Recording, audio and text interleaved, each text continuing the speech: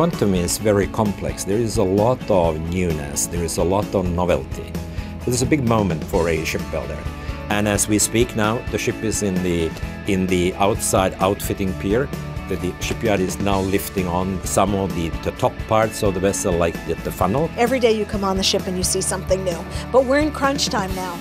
We have less than a couple of months to get the ship ready for our guests.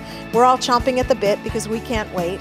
We have like a small little army of people right now working on all of the last details for the ship. In every area we can have dozens and dozens of comments. So we're managing hundreds and hundreds of comments that we are on top of. We're inspecting the spaces, the shipyard's handing those over to us, and then our crew are moving in and bringing those spaces to life. So it requires a lot of coordination between the shipyard and operations. So the ship is about 90% complete.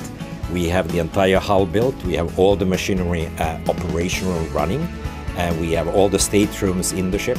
We have basic, all the equipment, air conditioning, galley equipment, all that is there installed. The shipyard and all of the construction workers and all of the subcontractors are working really, really hard to make sure the ship is ready and perfect by the time we take delivery in the middle of October.